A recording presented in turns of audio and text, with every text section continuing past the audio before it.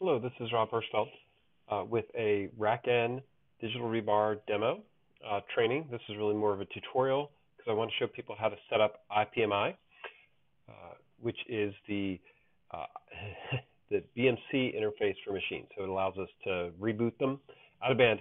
This is not a requirement to use digital rebar. The runner has the ability to reboot and reset the machines, and that's the preferred way to do normal uh, reboot operations. Uh, but if you need out-of-band power management, uh, this is the way to set it up, and I'll show you how, how that works and, and everything you need to know. This t- video take a little bit of while, so it's, it's useful if you've used digital rebar. This is not the thing you want to start with. First, learn how to boot and provision machines and get them those going, and I'm going to assume you've done that already. Uh, I'll give you a short tour in the process. Um, and in this case, I have a machine that's a simple Dell machine with a out-of-band management controller already set up. I'll show you how that looks. And everything I'm going to show you is in the documentation already. Uh, the IPMI plugin, which is what uses this, has uh, very exhaustive documentation. Our goal is for you to be self-sufficient with this. Um, we've made some licensing changes that require that allow you to generate a self-service license and play with uh, this and other RackN extensions to Digital Rebar, uh, completely self-service. And there's a video about that also if you want to see how to build that, and of course it's in the docs as well. Let me show you what, what we have going right now. I've installed the Digital Rebar in, endpoint.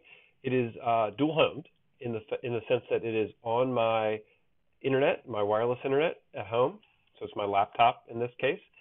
Uh, in a lab, you might actually have a, a static server, but one side is is on my lap my my internet with DHCP and has my interfaces. The other side, I have a wired interface, in this case a USB dongle, and that uh, I've assigned a static IP address to that, uh, which maps to a 10.10.10 subnet. I'll show you how to implement that in Digital Rebar. Uh, and then on that, I have both the PXE and the, the, so my admin network where I can PXE boot from and my out-of-band management network. It is perfectly acceptable to have both. Uh, although in a production environment, you are more likely to separate those two uh, for many, many reasons. Uh, so you would have your DRP endpoint with homing on both sides, so and, and probably two completely different subnet masks. Uh, I want to point that out because right, the lab configuration is probably where you're going to start and play, but you know that's that's clearly not the way we want to actually run the systems in production. Uh, and what that would translate into, if you just look at my networking here, uh, this is my Ubuntu desktop. Uh, I have a wired, this is my wired connection. If I look at the settings here, what you'll see is I've assigned a static IP address, um, and it's going to end up being my gateway address. That's all good. Um, and I've identified it, done some other things. This is the primary thing that I needed to get done to make this work. And then to actually be able to boot machines from that, uh, I have a couple of things I need to do. These are normal digital rebar things, so I'm not going to dwell on them. But in, I've, I've created a subnet for my system. Uh, just went through the add subnet process.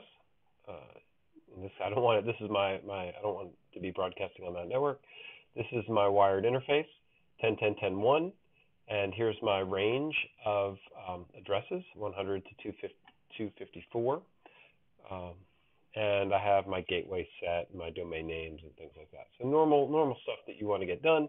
In this case, I still have my virtual box, so I can I can run both VMs and physical machines on the exact same endpoint. Uh, they're tied to different subnets, um, so that works out just fine. So, uh, and the simple simple thing for me to do is just going to be to boot the machine. So I will I have the DRAC already set in here. I can turn around and push the button. Um, but in this case, I'm just going to power it on this way. So I've already set the credentials in my rehearsal. And we'll be resetting those credentials as part of this training.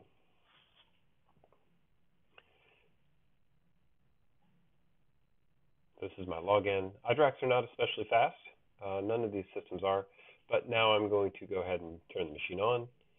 And you can hear in the background fans cranking up as it begins its boot process.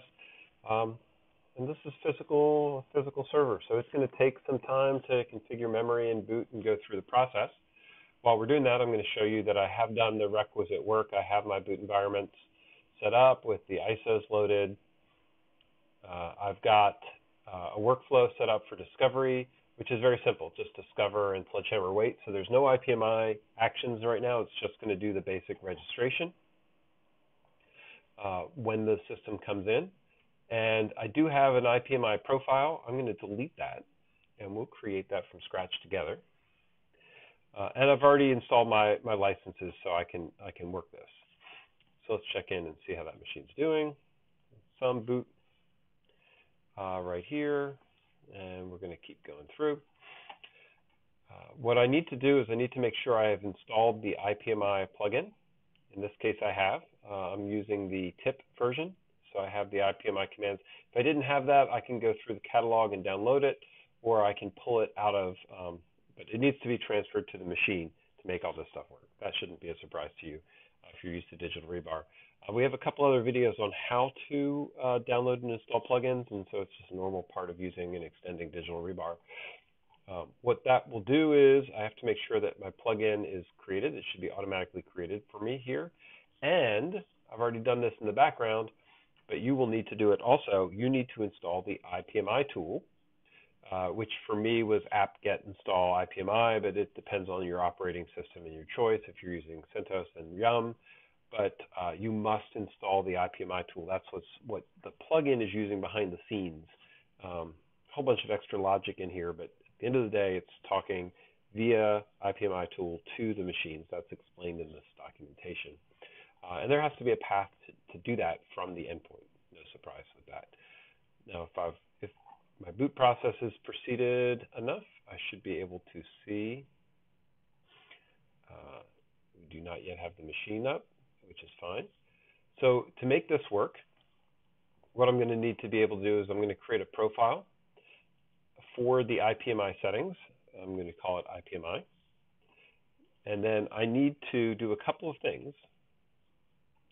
So the first thing I need to do is tell it that I actually do want to have IPMI configurations uh, in this case. So, and there's a whole bunch of choices in here. I'm not going to go through all of them. Please read the documentation. But I want to tell IPMI to configure the user in this case. Now, if I already have the user and I can't change it, then you're going to create IPMI username and IPMI password, and that will enable the system to work without configuring your own settings. Uh, so if, if, you're not allowed to change the IPMI, there is a way to handle that, once again in the documentation. I'm going to go through the more complex case where we're actually setting a username and password for IPMI to register so that the system can use it because I want to show you what that looks like. So in this case, I'm looking for the uh, username. And all of these parameters come in from the system. Now you'll notice there's two different choices. IPMI username, that's the actual username that it's going to use, and IPMI configure username, which is what I want, which is going to tell it to set the username. And in this case, I'm going to call this demo. And then I'm going to pause for a minute. I'm going to give this a distinctive color. Purple's good. And instead of hashtag, we will give it the graduate student. So you'll say, oh, wait, Rob, you've created a username and, and uh, told it to use that, but you haven't set passwords yet. That's because uh, at this time, the UX doesn't allow us to set passwords, and passwords are stored encrypted in the system, and so I, I have to do that from the CLI. And once I've added a password into the profile, the UX uh, is going to freak out about that. Um, by the way, my iDRAC is uh, happily doing all its stuff right now. So we're about to kick in. It's uh, literally installing Sledgehammer as we speak. Uh, so to make that work, I need to go over to the CLI. If you haven't gotten familiar with the CLI uh, yet, I strongly recommend that you uh, take some time to educate yourself on the CLI. It's uh, really a very important way to interact with Digital Rebar. Please do not count on the UX. Uh, CLI advances actually much more quickly. Uh, let me just go over to my home directory, DRP CLI, uh, profiles, show IPMI, just to show you. This is the uh, profile. And what we want to do here is we want to go in and profiles, and we are going to do a profile set. So I need to set the parameter to a certain value, uh, which is pretty straightforward. So I'm going to set the IPMI, and I want uh, set the parameter IPMI configure password. Try and bring this up a little bit in the screen, to, uh, we're just going to call it DEMO, and I'm just going to repeat it twice, demo demo. You'll notice when I do that set, a couple things happen. One, the UX automatically updated and said, hey, we have a password, and it's giving me key and payload. Uh, this is the encrypted storage, right? Passwords are not stored in normal settings, and so uh, they're stored encrypted. This is a setting on the parameter. Uh, if I turn around and get that parameter, it'll you'll see it'll return the same thing. There we go. Uh, if I actually want to see the value, I can say decode here, and it'll show me the value. So by default, you're not going to see encrypted values, but um, the CLI, of course, can decode that information, and it will if we ask it to. So that's what that looks like. Um, so now I've created a profile that has my IPMI configuration. I should have my machine up. There it is. So this is the machine we just put through that process in Sledgehammer Wait. And I want to add my profile. So here's my IPMI profile. But it's not set yet. So I need to do that. I need to do two things. One is I need to go to my workflow and I need to get my IPMI configure stage.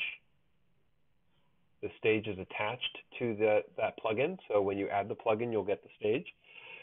Uh, and the stage will use the parameters uh, the, that I've defined in the profile, which is exactly what I want to be able to do. And now you have the question. So I, I don't want to reboot. Rebooting's slow. It took a whole bunch of, like two minutes, three minutes to um, actually get the machine going. What I'd really like to do is just rerun this stage to set uh, the profiles. And maybe what I should do here is let's log out first. We have our username demo uh, and demo. And I'm going to log in, try to log in. Shouldn't be able to because we haven't run the uh, username and password. I'm going to come back here, and to rerun this workflow, I'm going to just clear it, and then I'm going to uh, rerun the Discover workflow. So in this case, you'll see it's now picking up the stage IPMI configure. IPMI configure is here. This looks great. Um, now, if I hadn't set the user setter, then it would just not do anything. It would just uh, run this process. It would look for thing, look for the, the system, but uh, not take any additional action. In this case, it's telling me, hey, we've got the user account set, and uh, we're going to want that information. Let's check over here. So in this case, what you'll see, uh, we don't have any, any material uh, information here yet. Running and setting the profiles will go and set the username and password on the machine so that they're available as part of that, that profile. Uh, it's a pretty straightforward thing to do. Of course, I can set them uh, here or in the profile also, uh, and that would be exactly what I'd expect to have happen. Um, so the other thing that you'll notice in this as we're waiting is that um, in this view, I'm going to have these different power configuration options. They're not registered for the machine yet. Once they are for the machine, you'll see them up top. I'm going to show you in the CLI how I can determine what they look like. Um, let me get the name of this machine. Here we go. Actually, I'm just going to get its UUID. Oh, I'll get the name so I can show you what that looks like. And so if I want to um, see what actions are available, I can say DRP CLI machines actions and just the name of the machine. Uh, clearly not remembering my CLI enough. Machine actions ID. Okay. Oh. So if I'm providing a name, I need to tell it that it's a name. There we go. No actions currently registered on the machine, which is not surprising uh, because I haven't been through the full process yet. Let me see where we stand with this. We're still running the IPMI configure. Uh, and you can see there's a whole bunch of user accounts. Uh, it looks like I have um, set username two to demo. So you, this is one of the challenges with these systems. They, they have a limited number of slots to include accounts. It tells me that, and there are ways to overcome this. Um, wow, looks like it's pretty much done. Um, so gathering information, it'll actually set the IP address, which we can change. Here's the password and all the other information we have. This looks pretty, pretty darn good. We should be ready uh, to make this go. Uh, so now if I jump back into bulk actions, we are now through Sledgehammer Wait. I can jump to this machine. You'll now see that I have a whole bunch of commands to power change machines. And if I come over to the CLI, now I have all of the uh, power operations in here. And I also have my IPMI settings all set from that stage. So to recap, by running the stage and running the IPMI configure option, uh, that stage has created parameters on the machine that allow me to do IPMI operations. You could set this yourself if you have them and aren't allowed to do the configuration. And you can see there's a whole bunch of logic behind the scenes checking to see that we you know, use open user accounts and things like that. And these aren't fast operations because IPMI isn't fast um, on these systems, but they, they do work. They're, they're pretty straightforward for that. Let me go in and, and show the login demo. Do this. So at this point, I now have gotten my credentials set and I can log into the system and take actions and operations, which is pretty good. And we're going to show something fun. So here, I have a whole bunch of operations like reboot and identify, things like that. I can actually show you how to run that. So I can run an action. Uh, we are going to do a power status, power on, power off, power cycle. Power cycle looks good. Oops, getting sloppy, sorry.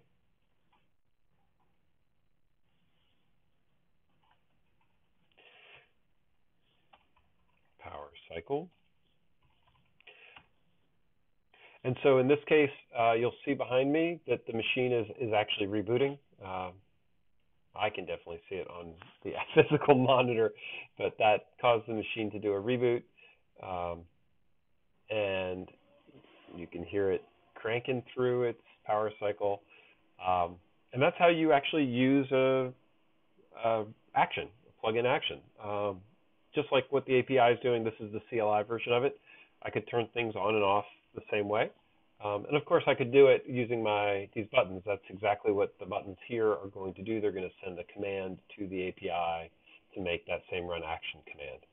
Um, if you'll if you look carefully at the way these things are structured, uh, these actions require you to have an IPMI password, IPM username, um, and so they're actually these actions pick them up automatically from your parameters on the machine uh, part of the design of digital rebar that makes all this stuff go. At that, boy, in about 10 minutes, I've managed to walk through the process of setting up IPMI uh, for machines. Um, the addressing is, is all pretty much automatic from that perspective. There's tons and tons of configuration and parameters and uh, items like that. So please don't be shy about reviewing what we've put together in documentation um, and adding to it. This is uh, you know, we, we want to hear if you're having having troubles, and we want to want to hear what, what's going on with this. Um, and if you're having any issues, uh, there's my machine rebooting and going going through that process. And that should complete it. Uh, once again, this is Rob Hirschfeld with RackN. Uh, please reach out to us. We'd, we'd, love to hear what your experiences are. Um, we're trying to make uh, this and other plugins as self-service as possible, and, and, we're always looking for feedback on how to make that process smoother and easier and clearer to you.